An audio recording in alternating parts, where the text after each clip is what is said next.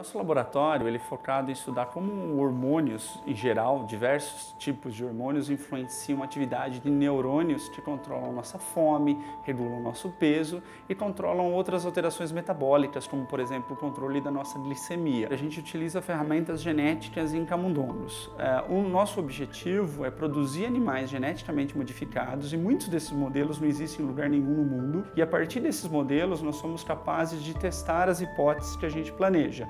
Uma das nossas pesquisas mais recentes, que eu considero a mais importante já publicada pelo nosso grupo, envolveu entender o papel do hormônio do crescimento sobre o metabolismo através da sua ação no sistema nervoso central. Nosso trabalho demonstrou que esse hormônio também atua no seu cérebro, estimula a ingestão alimentar e regula vários aspectos relacionados ao metabolismo. E mais, quando a gente está num estado de, de, privação alimentar ou está fazendo uma dieta para emagrecer, o que nosso estudo descobriu é que esse hormônio atua como uma espécie de mensageiro que informa nosso cérebro que você está emagrecendo e a partir desse sinal seu cérebro atua economizando energia. E isso é algo, se você parar para pensar em termos de tratamento da obesidade, é ruim. Então, o entendimento de que esse sinal atua no seu cérebro pode contribuir para novas pesquisas que visam melhorar o tratamento da obesidade.